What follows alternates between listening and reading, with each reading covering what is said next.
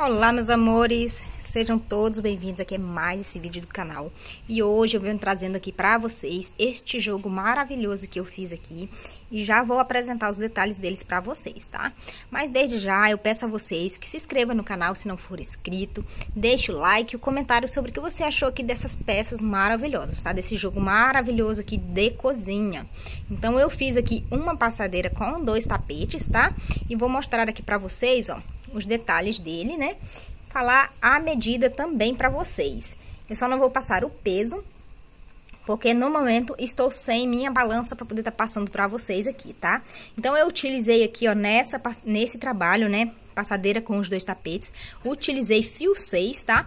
Somente aqui é, o centro, que são essas florzinhas aqui vermelha, que eu utilizei o barbante de número 8, porque eu não tinha é, fio 6 vermelho, né? Então, utilizei aqui o número 8, tá? Mas o restante aqui, todo ele é no fio 6. Então, utilizei aqui o mescladinho, tá bom? Utilizei aqui barbante cru e o barbante verde é, bandeira, tá bom? Para poder estar tá fazendo esse trabalho.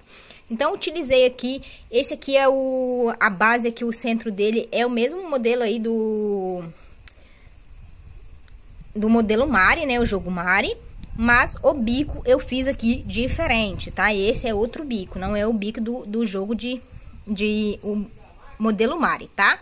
Então, ficou assim, ó este lindo trabalho né, de passadeira com os dois tapetes. A medida dos meus tapetes ficaram com 71 centímetros de comprimento. Então, ficou um tamanho aí bem legal, né? Ficou um tamanho bem, bem, bem legal mesmo. E ele ficou, ó, tá? Bem certinho, ó. Joga ele, fica certinho, ó. Ficou bem lacradinho, não ficou embabadando, não ficou repuxando, tudo bem certinho, tá? Então, ficou com 71 centímetros de comprimento por 45 centímetros de largura aqui, esse meu tapete, tá? Já a minha passadeira, deixa eu mostrar aqui pra vocês, ó. Tirar os tapetinhos aqui de cima pra poder mostrar melhor pra vocês. Ó, já a minha passadeira, eu fiz, ela ficou com 1 metro e 25 centímetros, tá? De comprimento, por 44 centímetros de largura, tá? Utilizei aqui para fazer a minha passadeira, ó, 1, 2, 3, 4, 5, 6, 7, 8 square de flor, tá? Dessa florzinha rasteirinha tá? Então, eu não segui vídeo aula, como eu falo pra vocês aqui, eu não costumo muito seguir vídeo aula, por isso é que às vezes eu não deixo o passo a passo aqui pra vocês. Esse aqui mesmo, eu não sei se tem a vídeo aula exatamente assim como eu fiz, né? Então, não tenho como deixar a vídeo aula dele pra vocês, porque eu vou pegando parte de um e montando o outro.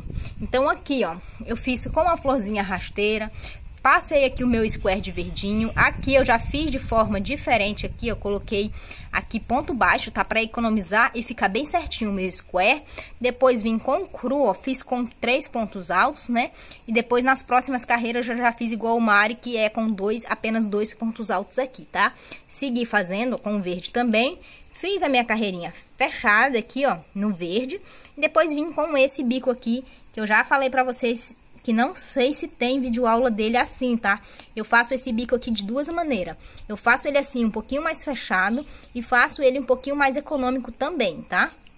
Então, assim ficou o meu tapete, o meu, a minha passadeira. E aqui, ó, ele ficou com cinco hélices, tá? Ó, cinco fatiazinhas dessa daqui, ó. Uma, duas, três, quatro, cinco.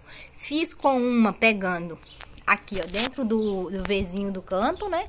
Uma dentro do espacinho, outra no espacinho do meio, no espacinho lateral e outra aqui dentro do lequinho do canto novamente, tá? E da, do outro lado, da mesma forma.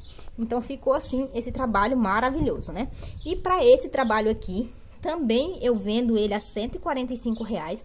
Eu esqueci de falar para vocês nos vídeos anteriores, né, que esse valor de 145 reais é no Pix ou no débito, tá? No crédito, é porque eu vou colocar ainda uma etiqueta, né? Quando eu for é, fazer a, a, as minhas vendas na feira, eu vou, eu estou querendo etiquetar todas as minhas peças, né? Então, vou colocar aí dois valores. Vou colocar o valor de crédito e o valor de se a pessoa passar no débito ou à vista, tá? Porque a gente sabe aí que a, a maquininha tem uma taxa, né? Então, é bom a gente já tá colocando aí o preço embutido. E aí, se a pessoa quiser pagar no débito ou à vista, que o débito, a gente sabe que a taxa dele é bem pequenininha, né? Já o crédito, ela tem uma taxazinha bem maior. E ultimamente aí, nos últimos tempos aí, as taxas eram um pouco menor, mas ela deu uma aumentada aí nas taxazinhas da maquininha, né? Então é bom a gente já tá colocando para não ter esse prejuízo também. Então eu vou disponibilizar lá as minhas peças com essas duas opções de valores, né?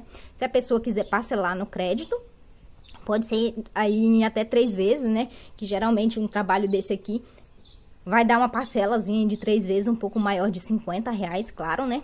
que vai ser, se eu não me engano aí, são é, 165 reais no crédito, parcelado em até três vezes, tá? A pessoa pode estar tá parcelando, mas já se for à vista ou no débito, de 145 reais, um jogo desse com três peças, com essas medidas aí, tá bom?